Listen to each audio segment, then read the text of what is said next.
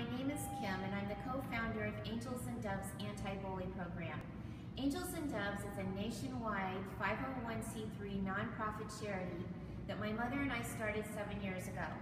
Our mission is to try and put an end to bullying suicides in schools across the country. We've spoken to over 15,000 students and staff members coast to coast, taking our education, intervention, and prevention into grades K through 12.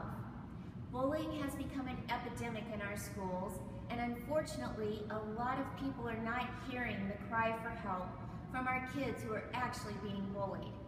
Right now, people kind of have a misconception of what bullying is. Yes, it is much different than it used to be, and it is way beyond teasing. It is an epidemic that is keeping nearly 1 million students at home every single week from one coast to the other. And this is something that we have to put an end to.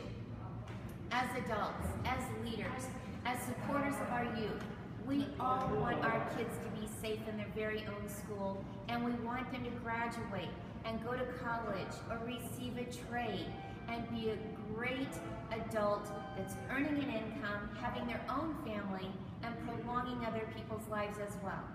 So again, Angels and Doves is here to help you. We travel to speak in your school, your church, your youth organization, or even your summer camp. We have recently been adopted by the ABA, the American Basketball Association, and we are partnered with all 108 teams nationwide. We've also partnered with the Him by Her Foundation and many American Legions.